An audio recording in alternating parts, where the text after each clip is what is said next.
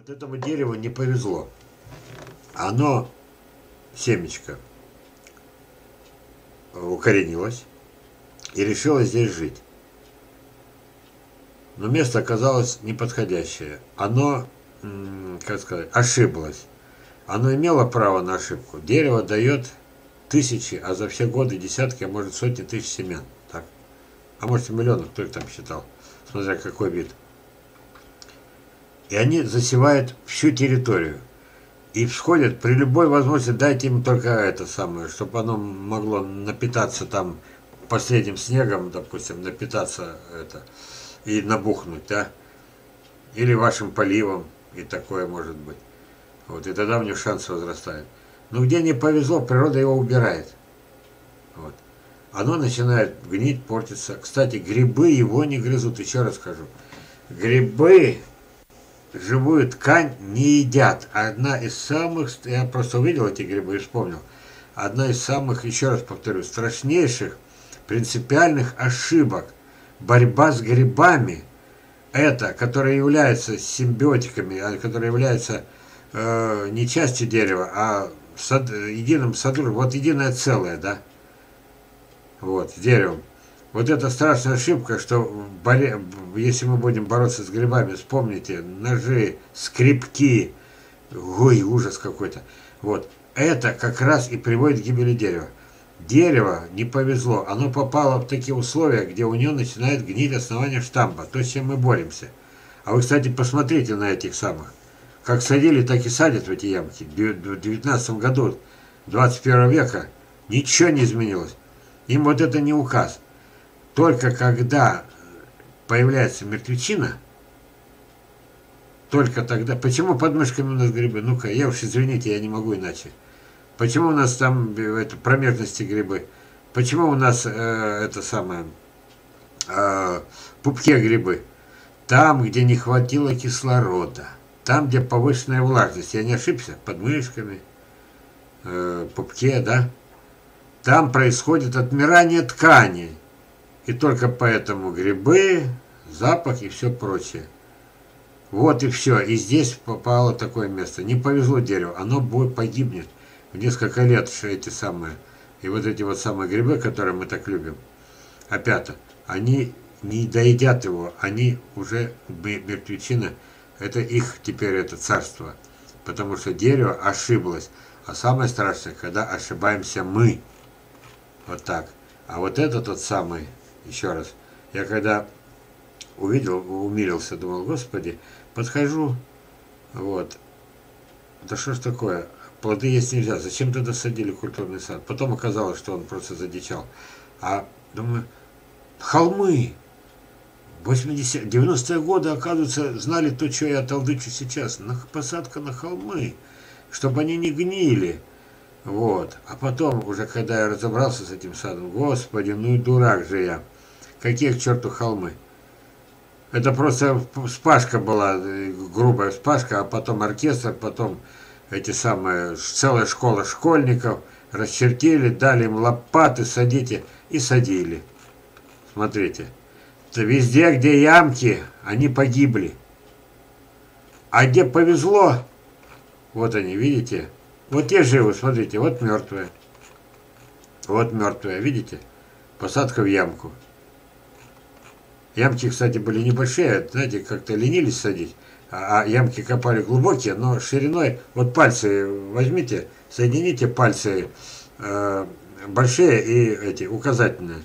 Вот, э, то, то есть, э, копали не в шире яму, а вглубь, то есть особо не старались. И, а, и туда вставляли саженец, и это, то есть, делали без души. И вот они сгнили, это примерно 40%, а 60% выжили. Почему? Сухо, степь и непоневольные холмы, видите? То есть не холмы, а гряды, гряды, гряды. Вот, это вот так получилось. Ну, естественно, это посадили как полукультурное, получили э, плоды размером с ногти. Это нормально. Да вы же, наверное, сами догадались. Кстати, вот еще одна. Вот. И я это говорю к тому, что в природе никто так не делает. В природе Метод отбора. Я вам еще раз показал.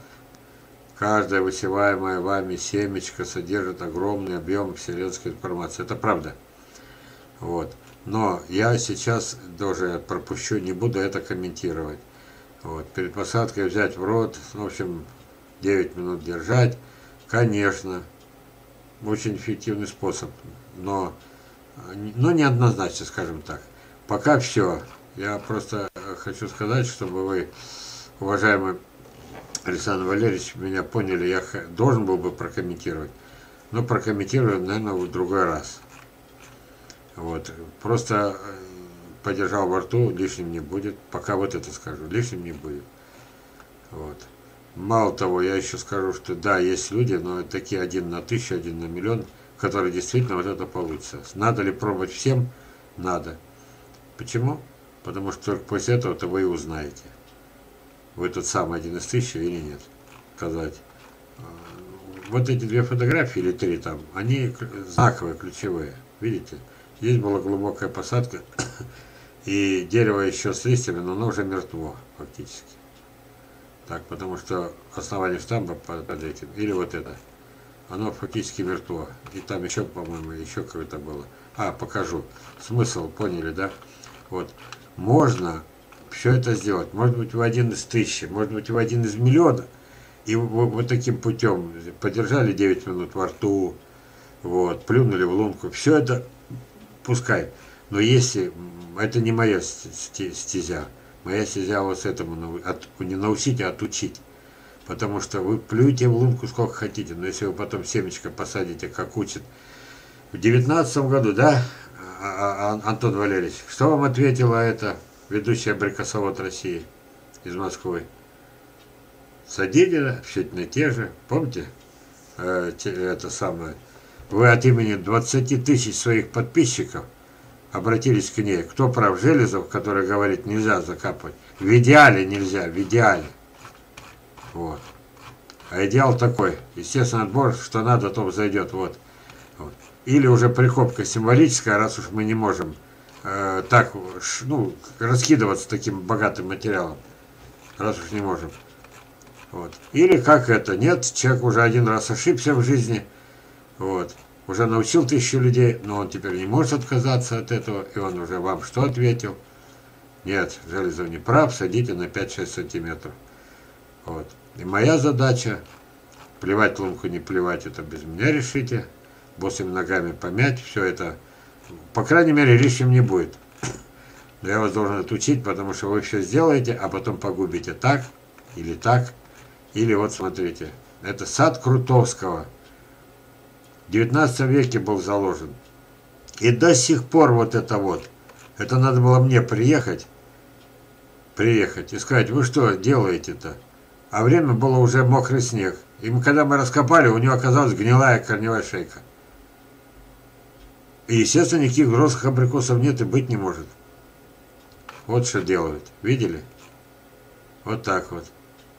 И тут уже плюй в лунку, не плюй. Вы поняли, к чему я говорю? Вот так я среагировал, э, это самое, уважаемый Киселев, на, на, на ваше это, ну, на, на, на, на выдержку вашу. То есть вы хотели мою реакцию, вы ее получили. Я силен вот в этом. Вот это мне надо приехать в Крутовский сад, в академический сад, это под Красноярском. Вот. Для того, чтобы сказать, вы что, ребята, и так далее. А вот это тоже. Видите? Надо два рядом их поместить. Вот это вот калека, ученая калека, а вот это вот, вот. Представьте себе, что я из него бы это самое сделал бы. Вот так вот.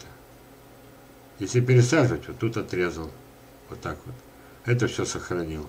Пусть уходит под снег. Но я вам это показывал. Просто хочу сказать, что в игре это замечательно, здорово но не знать основу агротехника, я не знаю на данный момент, я такие снимки называю ключевыми, у меня их сотни. Ну вот, вот я привел черешню, вот она пошла, вот она замерзла по уровню снега. Но она же не погибла. А теперь представим себе, что штамп-то отсюда бы начался. Не отсюда, вот. А вот это все уничтожается. Кустовидная форма – это реакция деревьев на ветреные места, на мороз и на ветер. Что там не понять-то? Ну и, наконец, еще, вот, вот он лес, вот он холм. Холм, понимаете, не в ямка. Холм. И почему да, обязательно дерево, которое посажено в саду, должно быть в яме, чтобы сгнило? И тогда оно называется культурным. А то его разве можно сравнить с лесом? Вон она дуря-то. Видели? Вот. Еще одна дурь. Убрать вот эту всю листву. Оставить это. Вот.